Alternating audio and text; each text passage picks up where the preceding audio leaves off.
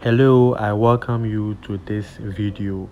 In this video i will be showing you step by step on how to create a verified alipay account as a foreigner.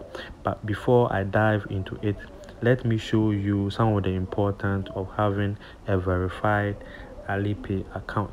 First of all it helps in creating 1688 and Taobao account.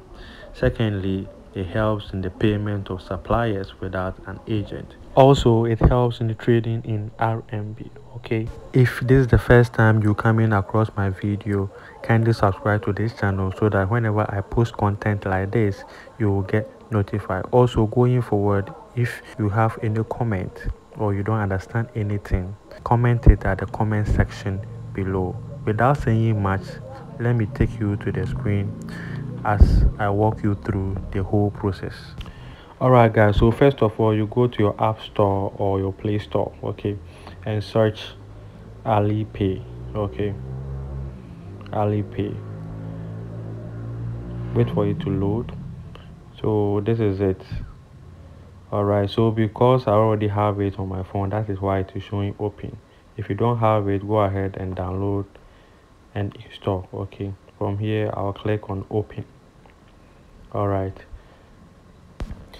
this one here is the terms and condition of Alipay so you can click on the blue button to agree.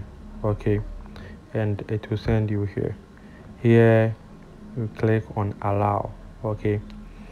Here you could see that it's already in uh, China country code. Click on it and uh, choose your country code or your area code. All right since i'm in ghana i'll click on ghana.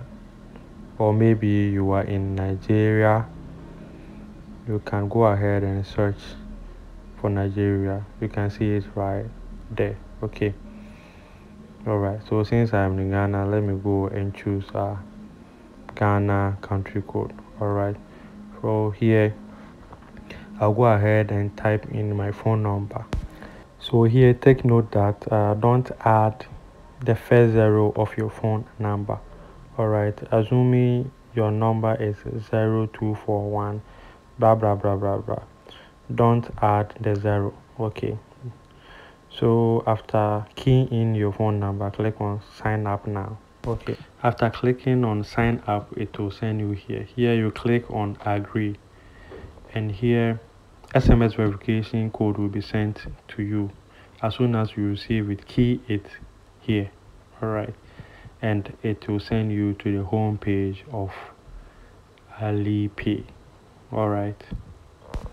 So let's continue with the settings. Okay, click on me where the arrow is pointing. Okay, from there locate where the where I've circled. Okay so first of all you set your photo. Secondly you set your nickname. From there you go back and go to settings. Okay. Click on account and security. All right so with account and security you click on login password. So right now you change your login password. As soon as you, you click on it uh, sms verification code will be sent to you as soon as you receive it you key in that code all right and it will send you here. Here it is telling you to reset your login password all right and this is very important. Whatever you put in there make sure you jot it down because it is going to be your Taobao password all right that's what you are going to use to log in your 1688 okay so when you key in you click on save and it will bring you here. Here it says remember that this is the only password you will use to log Taobao account and Alipay. Alright so take note. So here you click on confirm. Alright and save and it will bring you to the home page. Alright now let's go ahead and verify our Alipay with international passport or traveling passport.